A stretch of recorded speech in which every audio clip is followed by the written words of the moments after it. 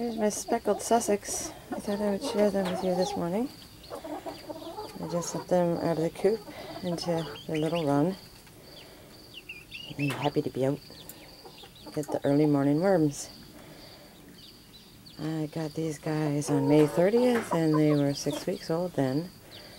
So we're about nine weeks.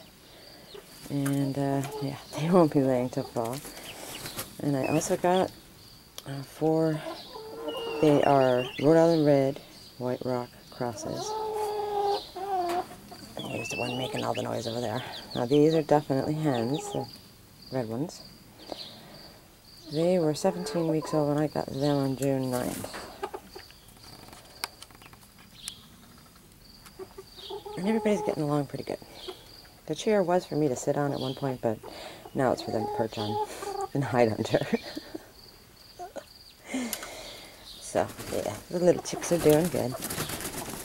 Alright, stretching their wings they just got out. And yes, they have names. But uh, I'm still trying to remember which is which. We got uh, Rocky and Peanut and Brownie and Caremy, which who's over there. And the reds are Mary, Alice, Peacock, and Fire. So everybody's got a name. So that's my chickens. Just wanted to share.